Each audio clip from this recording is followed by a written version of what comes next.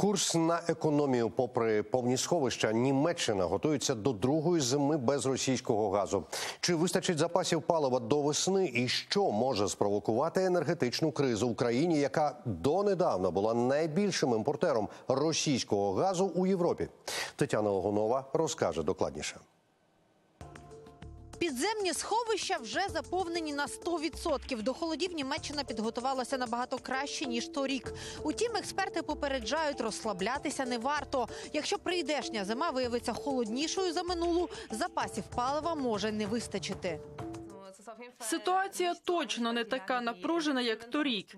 Минулого року ми взагалі не знали, як переживемо зиму, і нам насправді дуже пощастило з теплою погодою.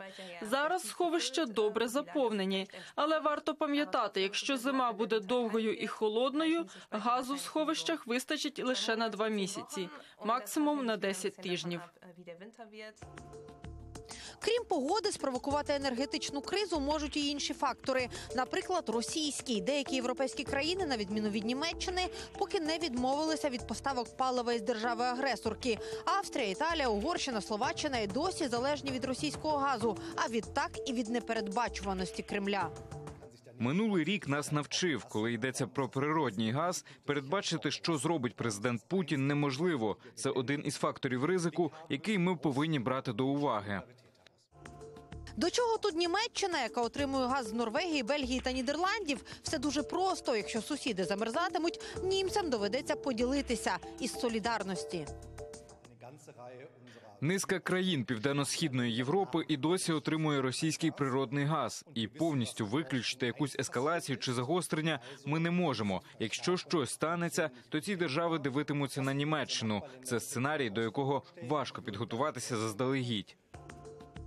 А ще ніхто не може виключити ймовірні диверсії проти об'єктів енергетичної інфраструктури Євросоюзу, такі, що вже сталися з системою газогонів Північний потік та трубопроводом Балтік Конектор. Ці акти саботажу і досі розслідують. План на випадок гострого дефіциту палива у німців є. Його розробили ще торік, готуючись до першої зими без російського газу. У разі нестачі палива від газопостачання тимчасово відключатимуть великі промислові об'єкти, щоб забезпечити теплом жителів країни. Їх в свою чергу закликають не випробувати систему на міцність і економити газ. Тетяна Логунович, Слав Фролов, подробиці німецьке бюро телеканалу Інтермарафон. Єдині новини.